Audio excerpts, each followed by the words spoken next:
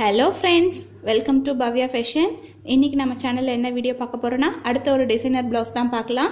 First sari explain பண்ணிடுறேன். இதுதான் சாரீ இது நல்ல ஒரு பேரட் க்ரீனில் சானா சில்க் வருது இல்லையா? அந்த மாதிரி ஒரு மெட்டீரியலில் இருக்கிற சாரீ தான். இது ஃபேன்சி சாரீ ஃபேன்சியாக இதில் ஃபுல்லாகவே பார்த்தீங்கன்னா க்ரே கலரில் வந்து எம்ப்ராய்டரி போட்டிருக்கு. பார்டரும் பார்த்தீங்கன்னா உங்களுக்கு நல்ல ஒரு க்ரேயில் வந்து grey colour zari grey green த்ரெட்டெல்லாம் use பண்ணி இங்கே எம்ப்ராய்டரி ஒர்க் போட்டிருக்கு. சாரீ ஃபுல்லாகவுமே இந்த மாதிரி எம்ப்ராய்டரி ஒர்க் இருக்குது பல்லு பார்த்தீங்கன்னா சேம் இதே மாதிரியே. இதே மாதிரியே உங்களுக்கு பார்டர் கொடுத்துருக்காங்க பல்லுலேயும்.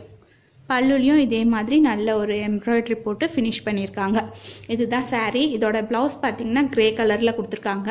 ப்ளவுஸ் வந்து பிளெயினாக தான் இருக்குது இது வந்து ஃபேன்சி சாரீன்றதுனால இதில் ட்ரெடிஷ்னலாக எந்த ஒர்க்குமே யூஸ் பண்ணாமல் ரொம்ப ரொம்ப சிம்பிளாக க்யூட்டாக ஒரு ஒர்க் எப்படி போடலாம்? நிறைய மெட்டீரியல்ஸ் எல்லாம் யூஸ் பண்ணாமல் சிம்பிளாக ஒரு ஒர்க் எப்படி போடலான்னு தான் இந்த வீடியோ பண்ண போகிறேன் இந்த ப்ளவுஸுமே ரொம்ப கிராண்டாக அவங்க போட மாட்டாங்க. ரொம்ப சிம்பிளாக நீட்டாக கேட்பாங்க. ஸோ அதுக்கேற்ற மாதிரி தான் இந்த ஒர்க் நான் போட போகிறேன் எப்படி போடுறதுன்னு பார்க்கலாம். ப்ளவுஸ் வந்து ஒரு மாதிரி ரா சில்க் மெட்டீரியலில் கொடுத்துருக்காங்க. ப்ளைனாக இருக்குது இப்போ நான் என்ன பண்ணியிருக்கேன்னா சாரியில் கோல்டு கலர் எங்கேயுமே வரல. ஆனால் அங்கங்கே சில்வர் கலரில் ஒரு பீட் வச்சுருக்காங்க. நான் இப்போ என்ன பண்ணுறேன்னா கோல்டு யூஸ் பண்ணாமல் சில்வர் கலர் ஜரியில் வந்து டபுள் லைன் செயின் ஸ்டிச் போட்டிருக்கேன். இப்போ அடுத்தது ஒன் லைன் வந்து சாரியோட பேரட் க்ரீன் கலரில் சுகர் பீட் வைக்க போகிறேன் இதுதான் வந்து க்ரீன் கலர் சுகர் பீட் இது வந்து கிளாஸியாக இருக்கும் நல்லா.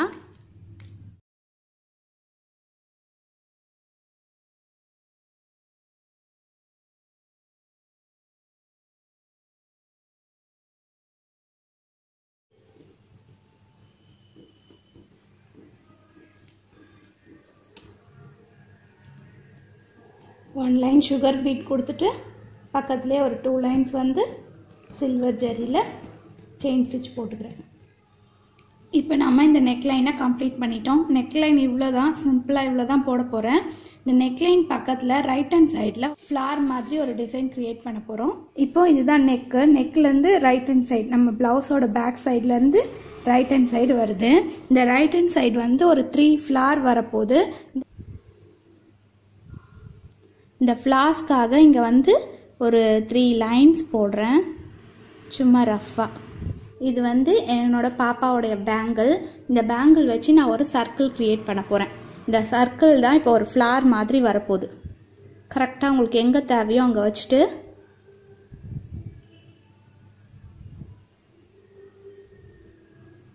எவ்வளோ பெரிய சர்க்கிள் தேவையோ அதுக்கேற்ற மாதிரி நீங்கள் பேங்கிள் எடுத்துக்கோங்க.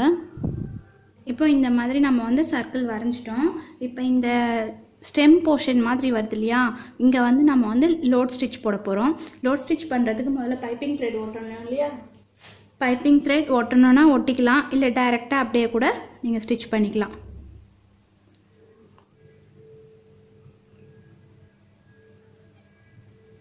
இப்போ இந்த மாதிரி பைப்பிங் த்ரெட் ஓட்டிட்டு இந்த சர்க்கிளோட மிடில் வந்து ஒரு சின்ன ரவுண்ட் போட்டுக்கோங்க. சும்மா குட்டியாக இந்த பைப்பிங் த்ரெட் ஒட்டியிருக்கோம் இல்லையா? அது மேலேயே நான் சிக்ஸ் டேக் ஸ்டிச் போட்டுக்கிறேன். அப்போ தான் இந்த த்ரெட் வந்து நகராமல் இருக்கும்.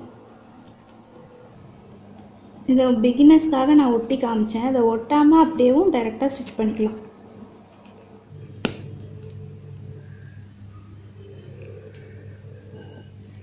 இப்போ இந்த ஒட்டியிருக்க ரோப் மேலே லோட் ஸ்டிச் போட்டுக்கிறேன்.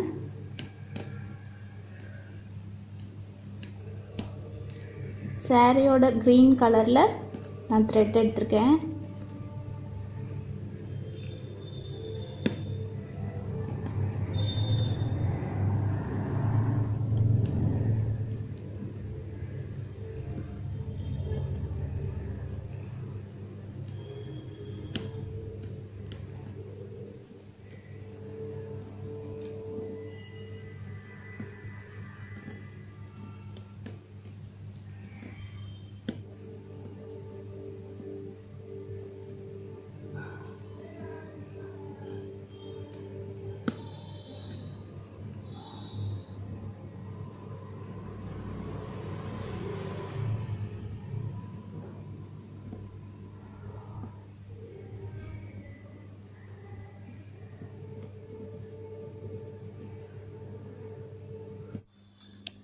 இப்போது இந்த சர்க்கிளை சுற்றி நம்ம என்ன பண்ணியிருக்கோம் ஒரு வீல் ஷேப் மாதிரி அந்த லைன்ஸ் போட்டு வச்சுருக்கோம்.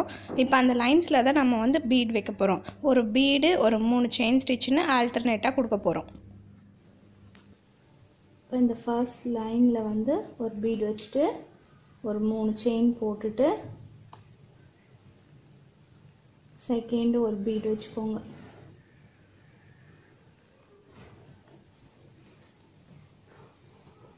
அப்புறம் ஒரு மூணு செயின் போட்டுட்டு தேர்ட் பீடு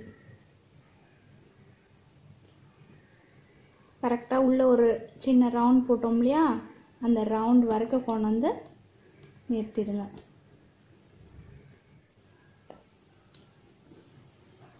சேம் அடுத்த லைன் போடும்போதும்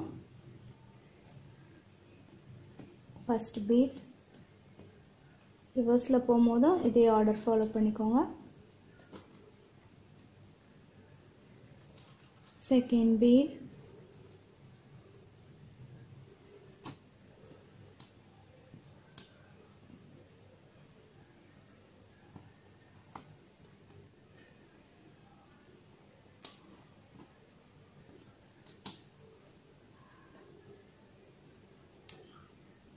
இதே மாதிரியே இந்த ரவுண்டு சுற்றி போட்டுகிட்டே வரணும். இது ஃபுல்லாக கம்ப்ளீட் கட் பண்ணிட்டு காமிக்கிறேன் எப்படி இருக்குன்னு. இப்போ இந்த ரவுண்டு வந்து ஃபுல்லாகவே கம்ப்ளீட் பண்ணியாச்சு. ரொம்ப அழகாக வந்திருக்கு. இதோட மிடில் பார்த்திங்கன்னா ஒரு சின்ன ஸ்பேஸ் தெரியுதா? அந்த ஸ்பேஸை ஃபில் பண்ணுறதுக்காக நான் என்ன பண்ணியிருக்கேன் க்ரீன் கலர் த்ரெட்டை ஃப்ரெஞ்ச் நாட் நெடியில் எடுத்திருக்கேன். இப்போ இந்த ரவுண்ட் ஃபுல்லாகவே ஃப்ரெஞ்ச் நாட் போட்டுடலாம்.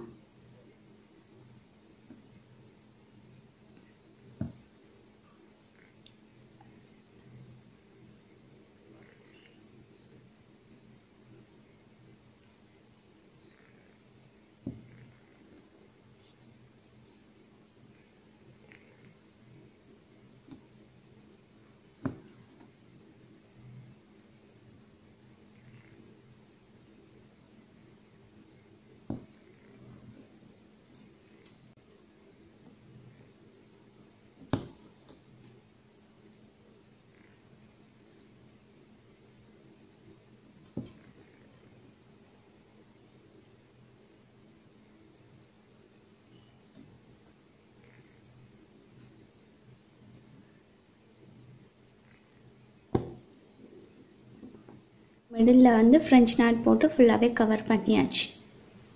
இப்போ பார்த்தீங்கன்னா தெரியும் நம்ம ஃபுல்லாகவே இந்த டிசைனை கம்ப்ளீட் பண்ணிட்டோம். வந்து லோட் ஸ்டிச் போட்டுட்டு அதை சுற்றி வந்து பீட்ஸ் எல்லாம் வச்சு ஒரு அழகான ஒரு ஃப்ளார் மாதிரி இதை நம்ம கொண்டு வந்துட்டோம். இது பார்க்கவே ரொம்ப அழகாக நீட்டாக இருக்குது இது ஃபேன்சியாகவும் இருக்குது இது ரொம்ப ஈஸியாக எல்லாருமே போடக்கூடிய ஒரு டிசைன் தான். கண்டிப்பாக நீங்களும் ட்ரை பண்ணி பாருங்கள் இது நான் தான் ஸ்டிச் பண்ண போகிறேன் ஸ்டிச் பண்ணிட்ட பிறகு எப்படி இருக்குன்னு காமிக்கிறேன். இப்போ பார்த்தீங்கன்னா தெரியும் நான் அழகாக இந்த ப்ளவுஸை வந்து ஸ்டிச் பண்ணிட்டேன். இது எவ்வளோ அழகாக இருக்குது பாருங்கள் இந்த ரைட் ஹேண்ட் சைட் மட்டுமே ஒரு ஒர்க் வந்திருந்தாலுமே இது ரொம்ப அழகாக நீட்டாக இருக்குது இதோட ஃப்ரண்ட் நெக்லேயும் சேம் பேக்கில் என்ன மாதிரி ஒரு சின்ன லைன் வச்சுருந்தனோ அதே மாதிரியே ஃப்ரண்ட் நெக்லேயும் இந்த லைன் ஃபாலோ பண்ணியிருக்கேன் இந்த வீடியோ உங்களுக்கு பிடிச்சிருந்தா லைக் பண்ணுங்கள் ஷேர் பண்ணுங்கள் கமெண்ட் பண்ணுங்கள் மறக்காமல் சப்ஸ்கிரைப் பண்ணுங்கள்